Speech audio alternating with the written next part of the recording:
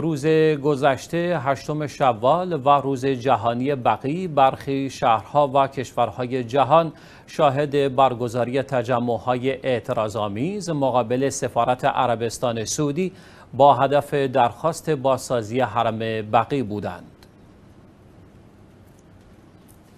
بزرگ مرجع جهان تشیع آیت الله العظما سید صادق حسینی شیرازی دامزلو بیش از ده سال قبل هشتم شوال را روز جهانی بقی نامگذاری کرد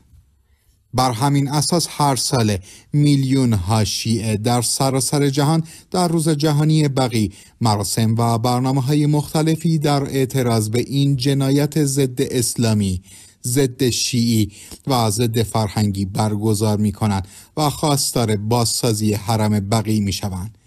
روز گذشته در شهر واشنگتن پایتخت ایالات متحده آمریکا. صدها نفر از شیعیان مقابل سفارت عربستان تجمع کرده و ضمن سر دادن شعار و برافراشتن برخی تصاویر و پلاکارت هایی درخواست خود مبنی بر ساخت حرم بقی را مطرح کردند. بغداد پای تخت عراق نیز شاهد تجمع اعتراضی ده ها هزار نفر از پیروان اهل بیت علیهم السلام مقابل سفارت سعودی بود.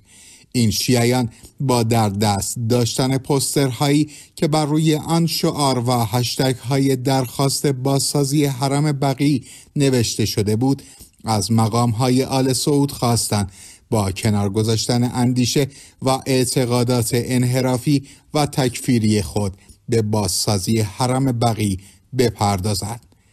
ها روحانی و شخصیت های سیاسی، فرهنگی و اجتماعی در این تجمع اعتراضی که با حضور شیعیان از شهرهای مختلف عراق شکل گرفت شرکت کردند. در پایان این تجمع اعتراضی بیانیه ای که حاوی درخواست بازسازی بقی از حکومت سعودی بود به امضای هزاران نفر از شرکت کنندگان رسید و به وزارت خارجه عراق برای پیگیری این درخواست از مجرای قانونی و رسمی تحویل داده شد.